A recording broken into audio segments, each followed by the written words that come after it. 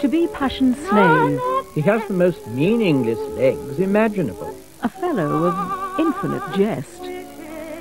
I always used it as an escape, I think. I'm a terrible escapist in life.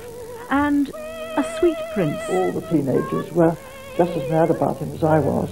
Love him as we did. He was very, very impatient. Omnibus toasts Sir John Gielgud's nine decades on stage and screen, Thursday at 11.25 on BBC One.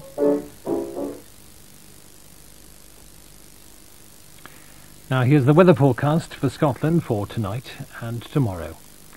Apart from a few showers in northwest Scotland, tonight will be dry with clear periods. There'll be a touch of frost in many places with light to moderate northwest winds.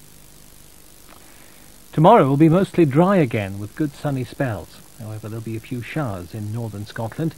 Despite moderate north to northwest winds, tomorrow will be reasonably mild. Well, while we start tomorrow morning with BBC Business Breakfast at 6, may I briefly draw your attention to Radio Scotland, which also starts at 6 with Daybreak, followed at 6.30 by Good Morning Scotland. Whatever your choice, you're welcome to join us.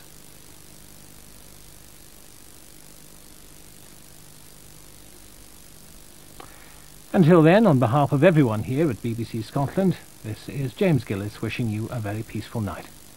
Good night.